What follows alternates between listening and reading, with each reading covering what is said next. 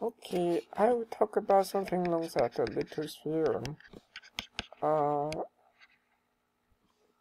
the Little's theorem kind of uh, a relationship between the um, average delay in the system let's say average delay note as t uh, and the number average number of packet in the system that's denoted with n or like average customer in the system in the store let's say uh, and if given the arrival rate is lambda is kind of stationary and is lambda, then we have a simple relationship that n is just equal to lambda t. That's the little theorem. Uh, this is a pretty general result. Uh, we don't need to assume much about the statistics and so on. We just need to ensure that the arrival rate is kind of stationary with the weight lambda. Then is uh, more or less hold. Um, uh, I will just give a simple proof here that uh, is kind of not the most general proof. Uh, we, but we give pretty much the intuition why this is true. Um, we make this, uh, we will make an assumption that the system is first come first serve. Uh, but Actually, this theorem will hold even if the system is not first come first serve. Uh, and you can kind of like argue that like easily yourself also, but being let the system to be first come first serve will make the argument argument much easier. So now what we're going to do is we just trying to plot out the number, uh, just plot two curves here. One is the curve correspond to uh, the number of arrival that uh, have arrived up to the current time. Let's say I have this curve here, or this, I'm not sure I should call it a curve or something, that this line here, the, the, the, the graph here, um, that correspond to the number of arrival to the system for the moment. Let's call this 80 and this is the number of arrival, number of arrive up to time t. Arrival up to time t. And let's plot another one that is number of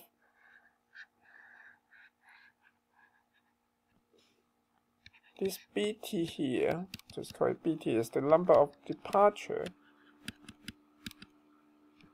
up to time t. Now what we can see is like basically at minus bt, let's call this nt here, is equal to at minus bt, just denote this as nt, it's basically just the number of packet or customers in the system at time t. Number of customer in system at t. This is directly customer. Okay. For example, like here, at this particular time, there will be like two customers in the system. Now what we can see is the average number, let's say this time here up to here is tau. The average number of customers in the system will be just like this nt average number customers in system will be just equal to the nt, this area underneath, that's basically just nt, the integral from 0 to tau over the total length tau here, right? So that's the average number of packet in the system or the customers in the system. But okay, this area alternatively I can represent as sum of these rectangles. And each of these rectangle is basically if you can uh, if you look at this more carefully this is basically the arrival time of the first packet or customer. And this arrival time of the second customer and so on and this is the departure time of the first customer. So therefore this length here is basically the um, time that the first customer spent in the system or the first packet spent in the system. And therefore like this rectangle is basically just equal to the delay for the first customers. Let's uh, write the delay as t1 this is equal to t1 and this is uh, equal to t2 and so on. So that's basically just t up to let's say that's um uh big uh let's see. Okay at this time how many customers has arrived in the system will be just equal to 80 or 8 tau so up to 8 tau basically so therefore this area actually is just equal to t1 sub c2 plus up to 8 tau, t8 tau here. So therefore this average number of customers in the systems will be equal to 1 over tau times this thing here because this area here is just equal to that. Okay.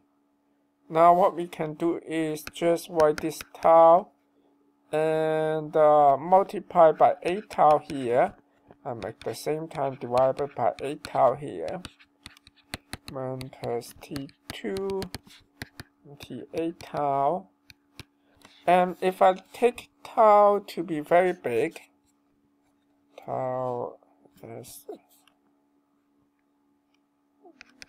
tau goes to infinity what we have is like the first term is just the arrival rate, right? Because I have like for a long period of time, of 8 tau of that is arriving, then basically the first one is, is nothing but just a lambda.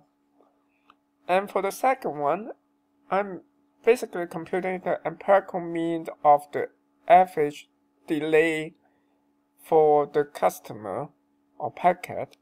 So therefore, like, this is actually just equal to big T or like the average delay of customer, right?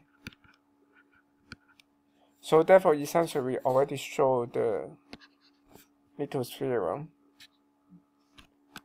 Okay, let, let's write here like that.